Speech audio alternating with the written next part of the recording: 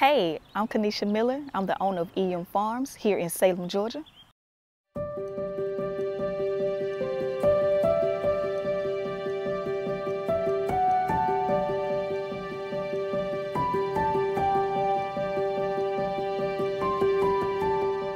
EM Farms is an on-farm market. We provide fresh fruit and vegetables.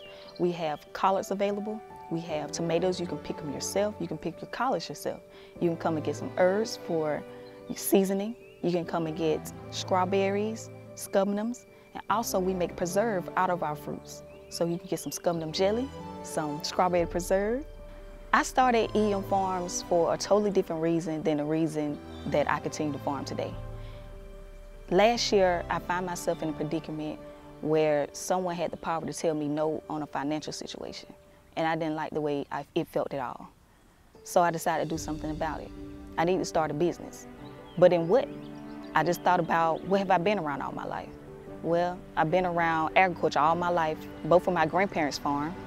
I went to school and graduated from Fort Valley State University in agriculture economics.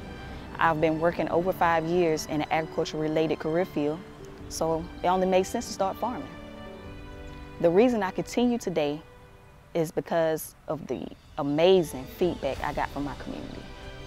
Last year, I didn't have anything you see out here today. All I had was those nine raised boxes and a shade tree, and they still made sure they came out to support me. People in the community would stop by my stand first before they go to the local um, grocery store to make sure they could support me before they went to the commercial spot. I mean, that means a lot. People stop by, give me seeds, transplants to plant, and ask for nothing in return. They'll come by all my equipment, help me chop in the field. I mean, it means so much to me, so I can't stop for my community.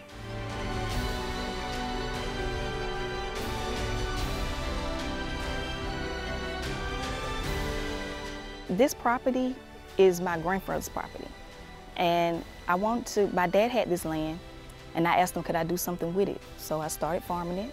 My grandfather farmed this land 40 years ago. My dad always tell me stories when he's out here. He said he sold watermelon on this same piece of land 40 years ago. And that, it really means something to me. And the fact that I actually grew up in a house two, two houses down. And my parents got married in that house. But They got married in the front yard of that house. It, it means a lot.